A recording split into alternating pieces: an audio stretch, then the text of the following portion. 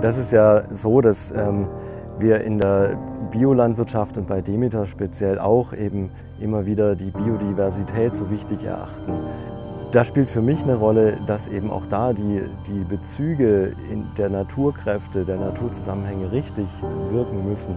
Und dass das etwas ist, was wir Menschen heute in der Verantwortung haben. Wir haben nur noch Kulturlandschaft und haben das in der Verantwortung, diese Verhältnisse herzustellen.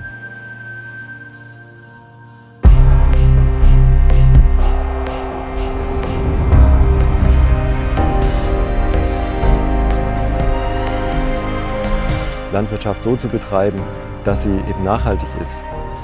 Und äh, das empfinde ich als den neuen Aspekt ähm, von Gemeinschaftsbildung, der eben wirklich aus dem freien Individuum heraus ähm, stattfindet.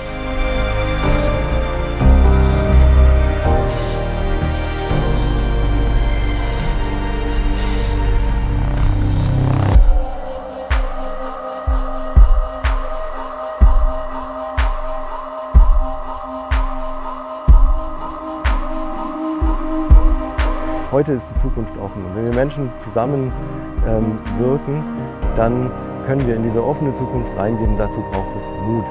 Und im Tental, da haben wir einfach mal festgestellt, wenn wir etwas noch nie probiert haben, dann können wir das einfach machen.